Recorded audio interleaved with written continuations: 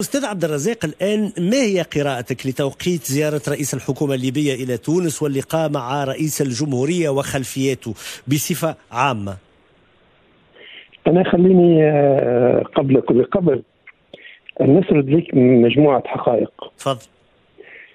هناك آه، اثنان لا, لا نستطيع اختيارهم وهو الجار والشقيق.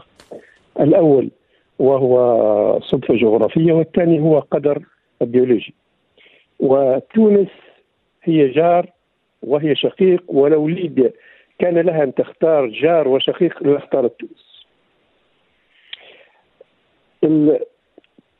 العلاقة بين ليبيا وتونس يعني في كل في كل زمن كانت دائما ليست أجل رئيس الجمهورية ولا رئيس الحكومة ولا رئيس مجلس النواب كانت علاقة بل, بل كانت علاقتها بهؤلاء جميعا هي من أجل تونس وليست علاقة علاقتها بتونس من أجل أي مسؤول في في خلال أي فترة زمنية. وهذه حقيقة مهمة. مهم جدا. ما بين ما بين تونس يعني في تونس وفي ليبيا هناك حالة نستطيع أن نسميها المجتمع العميق. م.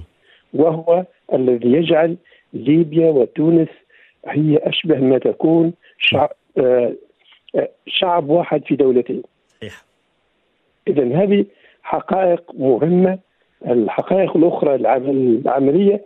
أن هنا أكثر منفذ نشط وحيوي. على مدى آه، أكثر من ربع قرن.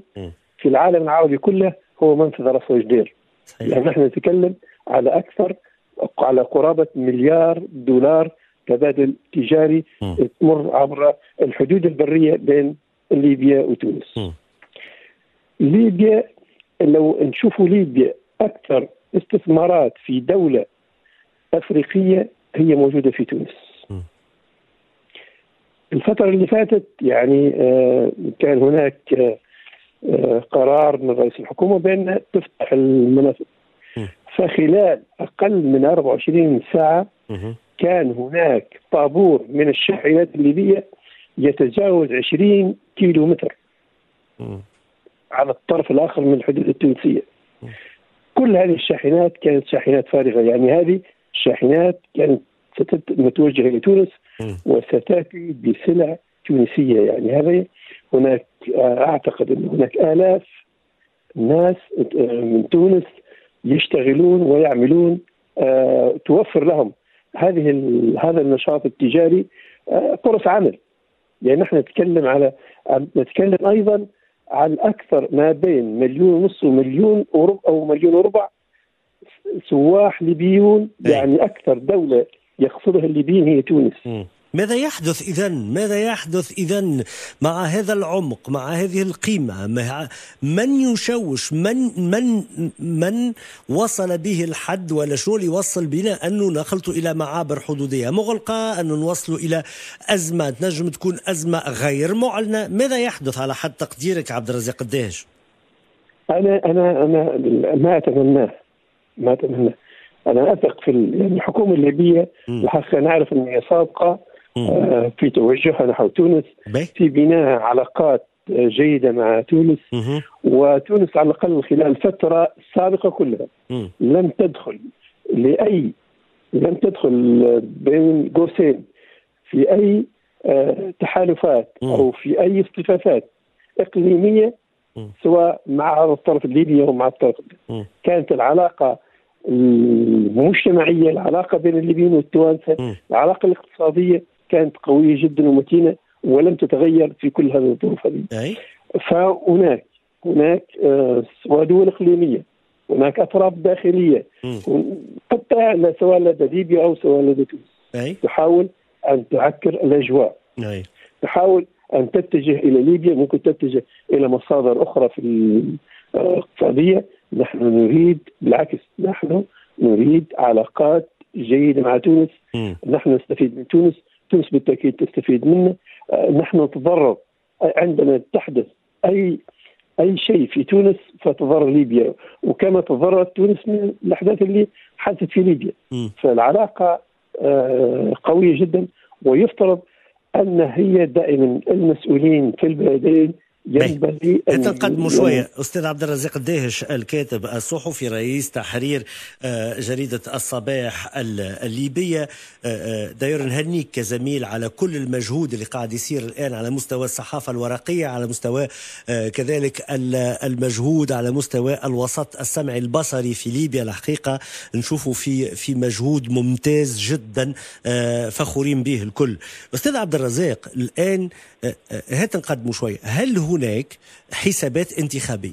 البعض يقول آه، أنه آه، السيد رئيس الحكومة المحترم عبد الحميد دبيبة لديه حسابات سياسية وأنه ينخرط بالرغم من أنه هو غير معني قد يكون غير معني بالانتخابات القادمة وإنما هو يصطف إلى جانب بعض القوى الإقليمية اللي آه، يساعدوا غدوة أنها تكون موجودة سند لي في انتخابات وإلا سند. ولذا أنه التصعيد اللي موجود الآن هو من باب البحث على نقولها ما بين ظفرين إذا كان تسمح على عدو سياسي افتراضي يكون الدولة التونسية وإلا تهديد الإرهاب وهذا يتيح من بعد ويتعدى بعد الاستحقاقات الانتخابية شو رأيك في الكلام هذا؟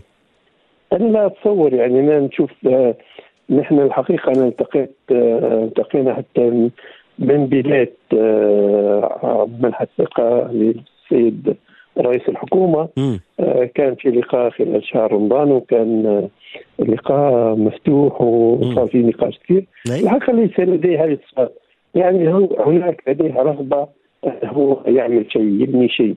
لكن بالتأكيد يعني انه هناك دائما أشياء آه، حتى آه، كثير من التصريحات تؤخذ ب آه، في في تحسب بطريقة ليس ليس كما هي. يعني ليس كما هو يعنيها. يعني حتى عندما نتكلم عن الإرهاب هناك بالفعل يعني الناس اللي هناك وصل عدد الدواعش اللي, كانوا في ليبيا في مرحلة من المراحل آه، قرابة العشرات يعني كانت هناك حرب في وعنوا على دولة في منطقة وجزء وجزء منهم توانسة.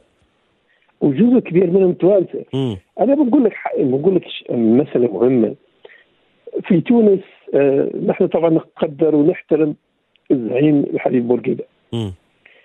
لكن الحبيب بورقيبة كان عنده خطأين. الخطأ الأول أن دائما كان يأسس علاقاته مع ليبيا وعلاقاته مع الجزائر على هاجس أمني. أكثر من البعد التجاري والاقتصادي. كانت ممكن تكون تونس في خلال مرحلة الستينات والسبعينات وخاصة السبعينات والثمانينات كانت تكون مرحلة أن استثمرت القوة يعني القوة الشرائية العادية للمستهلك الليبي. أيضا أنت قاعدة تقول عبد الرزاق قديش أنه فما خطأ معناتها خطيئة أصلية في في العلاقة. منذ البداية نعم نعم. لم تبنى على الأسس الصحيحة. لكن مش نزربك شوية خاطر وصلنا تقريبا للنهاية أستاذ عبد الرزاق. آه الآن عن فكرة الإرهاب هذه. آه الا ألا تظنون انه حان الوقت للحكمة وحان الوقت للخطاب الراشد؟ وقت اللي نقولوا راه ليست الدول هي الراعية للإرهاب وإنما هناك أشخاص وهناك أطراف داخلية وخارجية تسعى إلى رعاية الإرهاب وأنه الكلنا قاعدين نكتوي به بنفس بنفس الطريقة هو نحن جميعا ضحايا الإرهاب سواء في تونس هذا هو. وإلا في ليبيا. فاللي ينبغي أن يكون بدل توجيه الاتهامات. أنا, أنا أنا شوف هناك إعلام شعبوي آه هذا الإعلام هذه مسألة كبيرة جدا. وإعلام هو في الأخير إعلام مضلل. إحنا عندنا في في في الإعلام أو في الصحافة دائما نتكلم عن امتحان الأذى. دائما حتى قبل أن ننشر أي أخبار أو ننشر لابد من التحقق ولابد من التقصي ولا بد من اختبار الأذى. يعني شنو يترتب عليها؟ يعني إذا كان مثلا آه طلعوا ناس على الفيسبوك في ليبيا وآخرين مقابلهم. هذا لا يدفع بالدولة لا يدفع بالحكومات أن تتجه. بالعكس نحن دائما م. هذا نحن في ليبيا وفي تونس ضحايا الإرهاب. آه آه نعرف نعرف. أنا قلت لك أنا كلمتك على خطأين من أيام بورقيبة وهي الخطأ الثاني فيما يتعلق ب الجنوب التونسي. الجنوب التونسي ونختم يفضلك سي عبد الرزاق. طويلة مهمش وهذا واضح. التهميش أصبح سوق عمل للإرهابيين وللمتطرفين مش حتى الإرهابيين حتى الشيوعيين حتى كله كان دائما نشوف فيهم انه كان مصدرهم الجنوب التونسي. في كل الحالات سي عبد الرزاق. سي عبد الرزاق في كل الحالات اللي اللي نختموا به يمكن وشكرا لك على التدخل. حان الوقت لسياسات عمومية تشاركية حان الوقت للمسؤولية على مستوى الخطاب آه، وحان الوقت للرشد. شكرا لك سي عبد الرزاق. هكا ولا يظل يظل موافقني. شكرا لك سي عبد الرزاق هذا اللي نحن نعمل له إن شاء الله. خطاب مسؤول. إن شاء الله. آه لا خطاب مسؤول. لازم تقوية العلاقات وتمكين العلاقات وتطويرها شكرا دائما لك. بشكل أحسن حتى تكون العلاقه الليبية التونسية هي نموذج للعلاقة حتى داخل العالم العربي العلاقة بين جارين. شكرا لك. عبد الرزاق قديش الكاتب والصحفي الليبي.